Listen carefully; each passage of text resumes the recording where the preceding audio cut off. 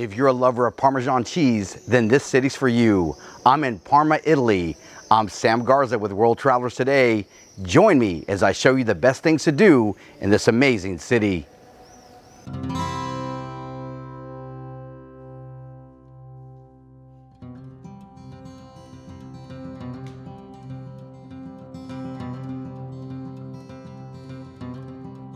My first day of exploring began with a search for good coffee, and I found it at Le Désir on Strada della Repubblica.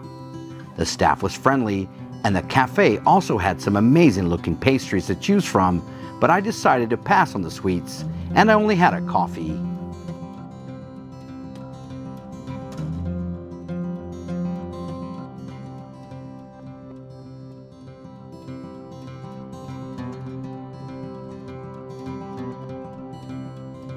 The Parma Cathedral is located in Piazza Duomo. Construction of the cathedral began in the year 1059 and was completed in the year 1106.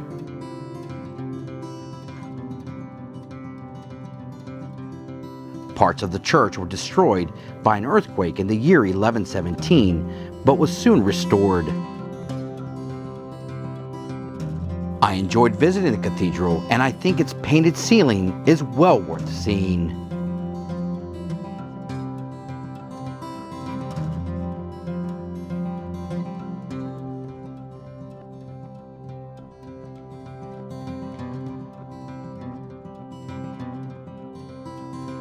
Located next to the cathedral is the Baptistery of Parma.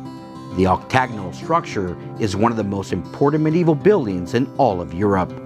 The baptistery dates back to the year 1196 and contains 13th and 14th century frescoes.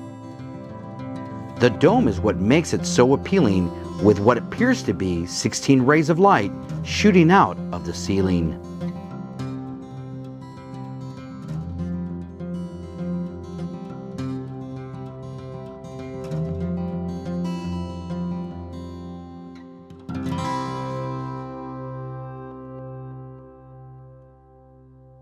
For lunch, I decided to eat at one of the best places in Parma, La Greppia.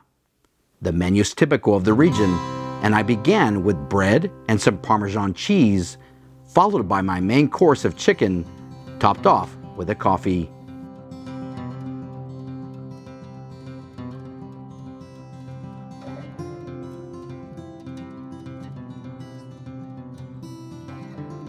Parma is a city that is part of Italy's Emilia-Romagna region, and this area is famous for their Parmesan cheese and Parma ham. But there is also some good wine from this area. I visited Enoteca Fontana, and here you can find good local wines at a reasonable price.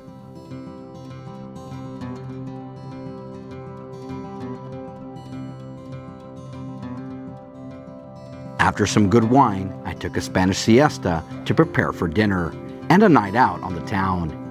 If you're looking for good Parmigiana dishes, Angiol d'Or is the place for you. I ordered Parma ham for an appetizer, followed by traditional tortellini.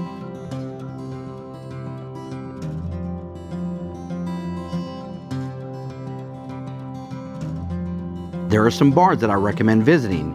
One of them is Panino di Artista. Located on the Strada della Repubblica, this bar offers appetizers and a drink for 10 euros. Cafe Tomasini is another bar to visit. Here the locals hang out on the street to enjoy their drinks with family and friends. I enjoyed visiting Parma and I look forward to adding this city to one of my Italian food tours. I'm off to the next town, but thanks for watching and remember, travel deeper.